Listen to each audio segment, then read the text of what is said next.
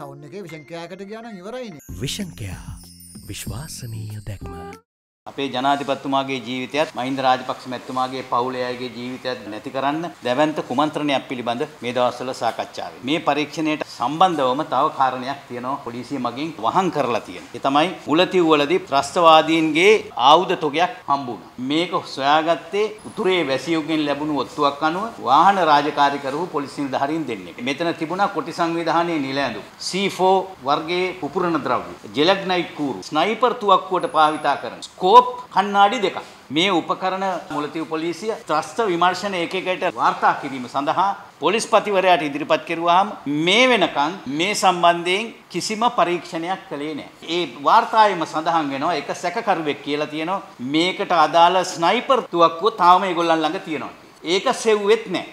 මේවා අද අතුරුදහන් වෙලා. මොකද මේ කුමන්ත්‍රණය කියන්නේ ස්නයිපර් තුවක්කුවක් භාවිතා කරලා නැගෙනහිර පළාතේදී හෝ උතුරු පළාතේදී මේ මේ ජීවිත නැති කරනවා.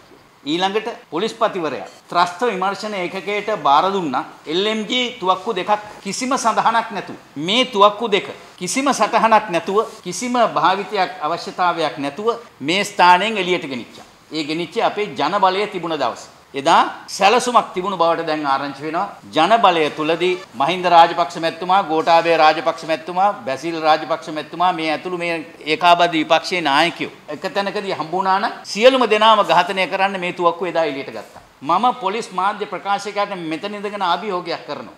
මේ සම්බන්ධයෙන් වහාම පැහැදිලි කිරීමක් රටට කළ යුතුව තියෙනවා. පුරාවිද්‍යා අධ්‍යක්ෂ ජෙනරාල් මණ්ඩාවල මහත්මයා ආචාර රාජ් සෝමදේව මැතිතුමාගේ කැනීම් බලපත්‍රය අහෝසි කළා. අද මන්නාරම සමූහ මිනිවල කැනීමේ වෝහාරික පුරාවිද්‍යාඥයෙක් හැටියට මැදිහත් වෙන එකම විද්‍යාඥයා ආචාර රාජ් සෝමදේව මැතිතුමා. දෙමළ කොටි ත්‍රස්තවාදීන් විසින් සිංහල බෞද්ධ ගම්මාන බුරුතු පිටින් විනාශ කරලා මරා දමලා හංගපු තැන තමයි මන්නාර සමූහ මිනිවල. අද යුරෝපයේ මානව හිමිකම් කවුන්සිල් වල දෙමළ සන්ධානය හරහා හදනවා මතයක්. යුද හමුදාව විසින් දෙමළ ජනතාව ඝාතනය කර සමූහ මිනිහවලක් හැටියට අර්ථකථනය දක්වන්න හදනවා. අද අහුවෙලා තියෙනවා එතන පුංචි ළමයි ගම්මානයක්.